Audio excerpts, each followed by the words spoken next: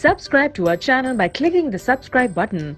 Click the bell button and enjoy the latest uploads from our channel. Question 5 How are the areas of study, evolution and classification interlinked?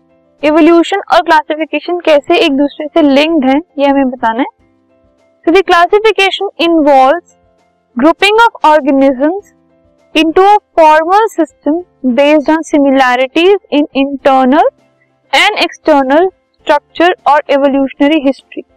जो classification है, किसी भी चीज़ को classify अगर हम करते हैं से अगर हम ऑर्गेनिजम्स को क्लासिफाई करते हैं तो उसका मतलब क्या है? हम ऑर्गेनिजम्स में सिमिलर चीज़ें ढूंढते हैं और फिर उनको हम क्लासिफाई करते हैं।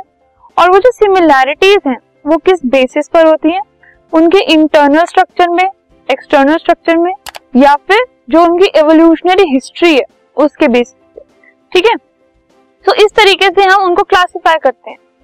So two species are closely related if they have common characteristics and if they are more closely related it means they have a more recent ancestor दो स्पीशीज अगर बहुत क्लोजली आपस में रिलेटेड है, इसका मतलब ये है कि उनके अंदर कॉमन कैरेक्टरिस्टिक्स है, कुछ कॉमन चीज़ें हैं। और अगर उनमें कुछ कॉमन चीज़ें हैं, और बहुत सारी कॉमन चीज़ें अगर उनमें हैं तो वो ज़्यादा क्लोजली रिलेटेड है। और उनका जो एंसेस्टर है, जिससे वो रिलेटेड है, वो बहुत रीसेंट है। कुछ एंशियंट एंसेस्टर नहीं है उनका रीसेंट एंसेस्टर है। तो ये हम एक एग्ज़ाम्पल से समझ सकते हैं। जैसे कि एक फैमिली में a brother and a sister are closely related brother और सिस्टर क्लोजली रिलेटेड होते हैं फैमिली के अंदर।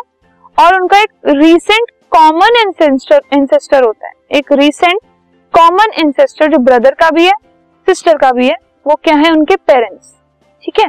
जिनसे वो प्रोड्यूस हुए fine now brother and his cousin are also related brother और सिस्टर बहुत क्लोजली रिलेटेड है। और ब्रदर और उसका कज़न भी रिलेटेड है, लेकिन वो इतने क्लोजली रिलेटेड नहीं है जितने एक ब्रदर और रियल सिस्टर ठीक है? So brother and his cousin are also related but they have a common ancestor उनके पास भी एक कॉमन इंसेस्टर है, जो कि उनके ग्रैंड पेरेंट्स हैं, ठीक है? और वो सेकेंड जेनरेशन के हैं. लेकिन जो कॉमन इंसेस्टर इंसेस्टर ब्रदर और सिस्टर का है, जो कि उनके पेरेंट्स हैं, वो फ़र्स्ट जेनरेशन के हैं. तो इसका मतलब ब्रदर सिस्टर के पास रीसेंट इंसेस्टर है एज कंपेयर टू ब्रदर और कज़न के पास. ठीक है? तो ब्रदर और सिस्टर ज़्यादा क्लोजली रिलेटेड है एज कंपेयर टू ब्रदर और cousin now it subsequent generations the variations make organisms more different than their ancestors तो जैसे जेनरेशन टू जनरेशन आगे बढ़ता जाता है टाइम उसके बाद क्या होता है? जो वेरिएशन हैं, वो ऑर्गेनिजम्स में उनको अपने इंसेस्टर से थोड़ा डिफरेंट बनाते जाते हैं। So this clearly proves that classification of organisms according to their resemblance, which is similar to creating an evolutionary tree. So, इससे हम क्या कह सकते हैं कि हम क्लासिफिकेशन बना रहे हैं, किसी को क्लासिफाई कर रहे हैं। तो वो किसके सिमिलर है, किसके जैसा है?